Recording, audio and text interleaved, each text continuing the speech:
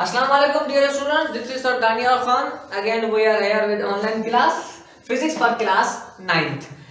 पिछली क्लास में हमने चैप्टर नंबर फाइव जो किया था, वो स्विच ऑफ़ किया था स्विच ऑफ़ मतलब we have already finish chapter number five with numericals today we are going to start chapter number six equilibrium for class nine physics equilibrium में सबसे पहले जो पढ़ने वाली चीज़ है, वो है स्टैटिक्स स्टैटिक्स क्या है Statics is the branch of physics that deals with the bodies at rest under the influence of number of forces. Statics क्या है? स्टैटिक एट फिजिक्स की ब्रांच है। उसमें हम स्टडी करते हैं, जब भी कोई बॉडी क्या हो रेस्ट में हो।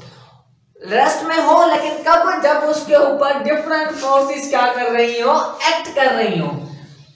तो इसको हम पढ़ते हैं स्टैटिक्स ठीक? अब आप सपोज़ करें वी हैव अ बॉक्स एक बॉक्स है हमारे पास। हेलो बच्चा, इधर। Back benchers concentrate okay we have a box अब इस बॉक्स में देखिए डिफरेंट फोर्सेस एक्ट कर रही हैं, लेकिन डिफरेंट फोर्सेस एक्ट करने के बाद भी ये जो बॉक्स है इज़ एट रेस्ट तो इसकी इसकी स्टडी कौन सी ब्रांच में होगी? स्टैटिक्स में। ठीक है? ये हमारे पास फोर्स है राइट साइड उतनी ही फोर्स हमारे पास है लेफ़्ट साइड तो नेट रिज़ल्ट क्या आएगा इसका? ज़ीरो इस बॉक्स का जो वेट है weight is a kind of force weight क्या है? डाउनवर्ड तो उसके अपोजिट में एक फोर्स जनरेट होती है, उसे हम कहते हैं normal reaction this and this will cancel out each other this and this will cancel out each other the box will be at rest because इसके ऊपर जो एफ़ नेट है एक्सटर्नल फोर्स है, वो क्या है? ज़ीरो न्यूटन इसलिए ये बॉक्स ना रेस्ट ना राइट ना अप ना डाउन मूव करेगा बल्कि क्या रहेगा?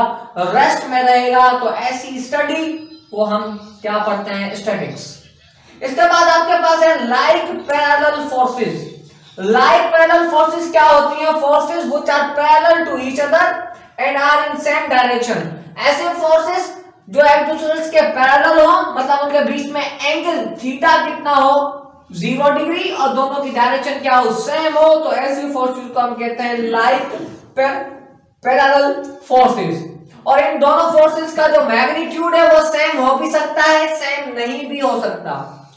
और मैग्नीट्यूड ऑफ़ रिजल्टेंट इनका रिजल्टेंट कैसे फाइंड करेंगे? मतलब इनका सम करेंगे। रिजल्टेंट मतलब सम फाइनल आंसर तो रिजल्टेंट मालूम करने के लिए आप क्या करेंगे? Resultant is equal to F one plus F2 ये हमने क्या किया है? ये हमने दोनों फोर्सेस को सम किया है। और सम क्यों किया है? बिकॉज़ दोनों की डायरेक्शन क्या है? सेम है। Magnitude of resultant of net force of like parallel forces equal to the sum of their magnitudes. Sum of their अगर F1 की वैल्यू 2 हो और F2 की वैल्यू 3 हो तो 2 प्लस थ्री फाइव न्यूटन वो क्या हो जाएगा?